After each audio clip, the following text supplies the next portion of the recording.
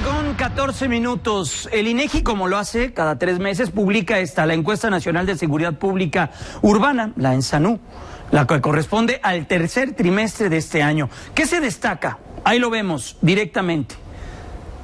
Para septiembre, 64.4% de la población de más de 18 años residente en 75 ciudades considera que es inseguro vivir en su ciudad, en la zona urbana donde habita. 70.5% fueron mujeres, 57.2% hombres. ¿Qué significa todo esto?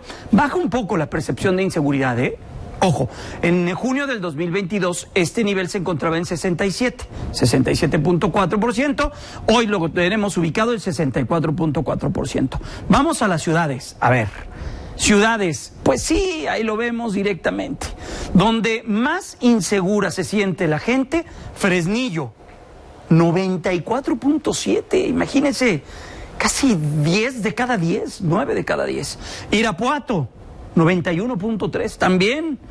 Naucalpan, Naucalpan está aquí a media hora, media hora de aquí. La gente que habita en Naucalpan, 90.8.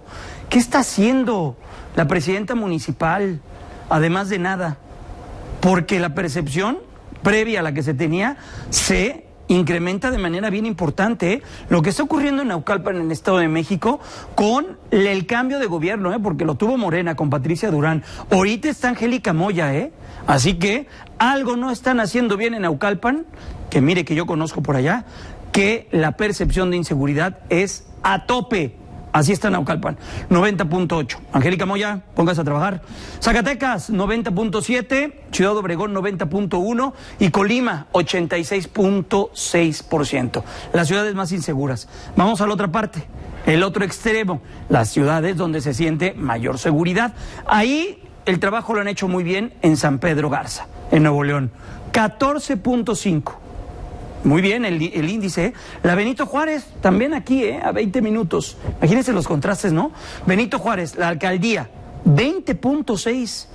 Colonias como la del Valle, Narvarte, eh, otras, otros tantos puntos muy importantes de la Ciudad de México, se sienten bien. La Nápoles, ahí se sienten muy cobijados por su gobierno Mauricio es este Santiago Taboada, Santiago Taboada el que está haciendo un muy buen trabajo. Piedras Negras también muy bien. Tampico, me llama mucho la atención. Tampico llegó a vivir momentos bien complejos. Mire qué bien anda. Los Mochis y Coajimalpa de Morelos. Ahí directamente lo que se vive. Así está.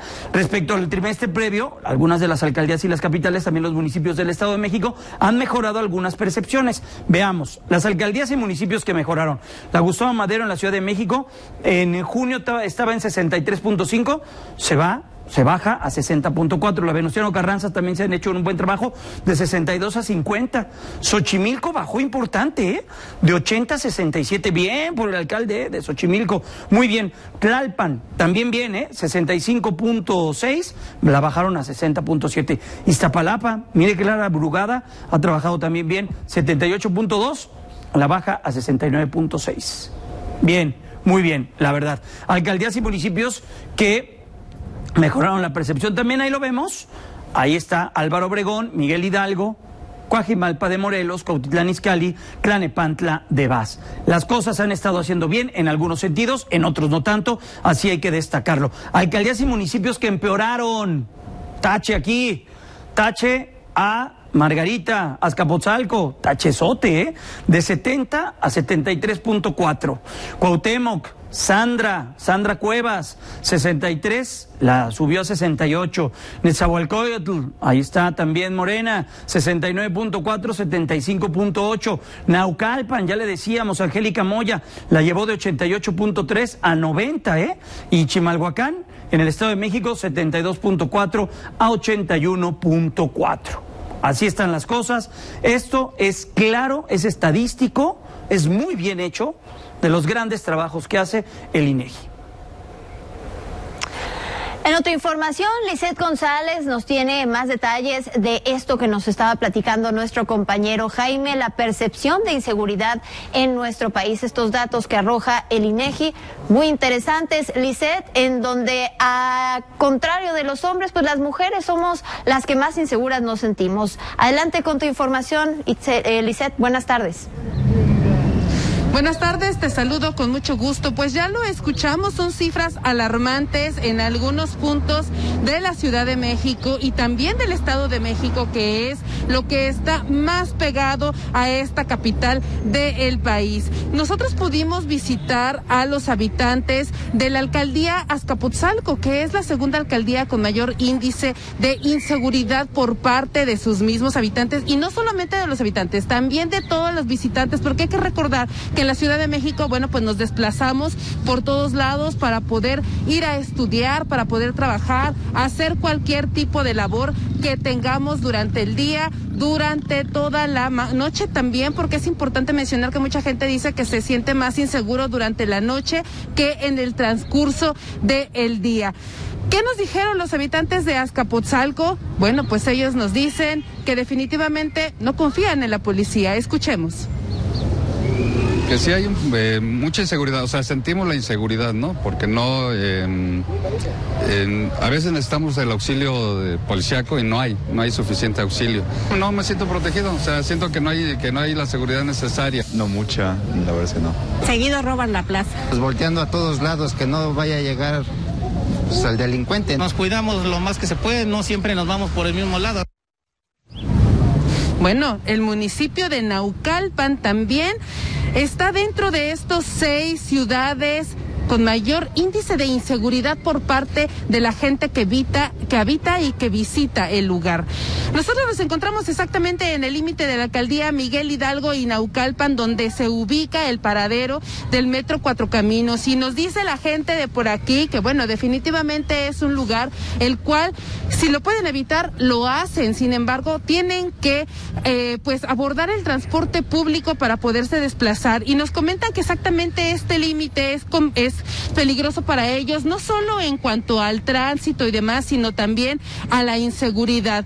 ¿Por qué? Bueno, pues porque son calles que al estar en límites con el Estado de México y la ciudad, bien nos decían, se echan la bolita, nadie sabe nada y cuando pasa algún incidente, bueno, tardan horas y horas en decidirse quién se va a hacer cargo de la situación. También platicamos con algunas personas de Naucalpan de Juárez y esto nos comentaron. Pues siempre vigilando, bueno, checando si alguien no me sigue, no sé, cosas así, o no intentar no andar sola. Pues nada más este no cargo con pertenencias de, de valor. No puede estar uno a agosto porque ya miedo de que te vayan a robar o a asaltar. O puede haber momentos en que te asalten o de repente ya te hagan cosas, ¿no? Mucho trabajo por parte de las autoridades, tanto de la Ciudad de México como del Estado de México, porque bueno, son colonias que a lo mejor como los mismos habitantes dicen, ni siquiera la policía entra de tan peligrosas que son. Así que bueno, pues ahí está la tarea para que el siguiente año, la siguiente encuesta que sale a la luz en enero del 2023, las estadísticas sean mejores. La información. Pues esperemos que así sea, Lisset, porque pues ahí vemos Naucalpan en segundo lugar a nivel nacional solamente después de Fresnillo, Zacatecas. Eh, ¿Se imaginan la inseguridad en la que se sienten, viven los habitantes de Naucalpan? Así es que un llamado a la alcaldesa Angélica Moya y también a la alcaldesa de Azcapotzalco, Margarita Saldaña. Algo está pasando, algo no se está haciendo bien y pues la verdad es que principalmente en el transporte público es en donde más se siente inseguro estos habitantes, al menos los que nos mencionabas de Naucalpan. Pues gracias por tu reporte, Lisset. Estaremos muy pendientes, en específico ahí en Naucalpan de que mejore la seguridad, la percepción de la seguridad y que realmente mejore. Gracias, Lizeth. Buenas tardes. Seguimos pendiente. Buena tarde.